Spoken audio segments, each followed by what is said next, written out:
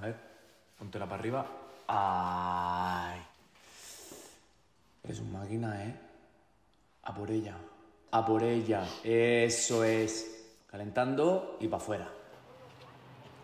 Yo no me voy a meter un consolador por el culo. Bueno, vale. En nuestra puta noche de bodas, Yala. Atado por contrato al libre folleteo sin Que fronteras. solo era una idea. Bueno, pues es una idea bastante gorda para soltar en el altar. Sí, quiero. Pero también quiero follarme a otros tíos por ahí. Eso no me pareció bien. Creo que mm, la mayor parte del tiempo pensándolo bien, soy infeliz. ¿Qué me quieres decir? Que te quiero. De verdad. Pero no sé si estaría menos triste sin ti de lo que lo estoy contigo. Son.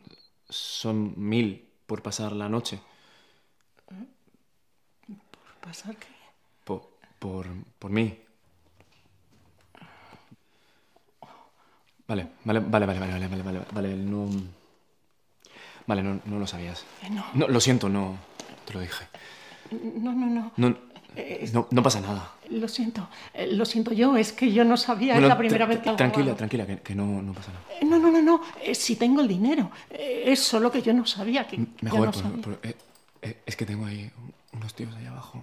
Que, que si no les doy el dinero me van a. Claro, claro. Me gusta mucho. Tengo la sensación de que puede haber algún conflicto. Joder, papá, que sí.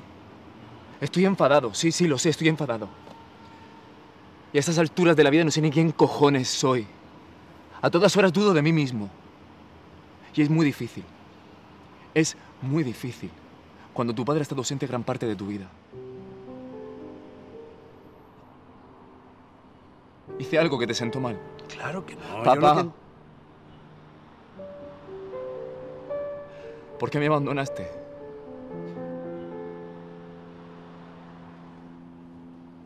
Porque soy un capullo.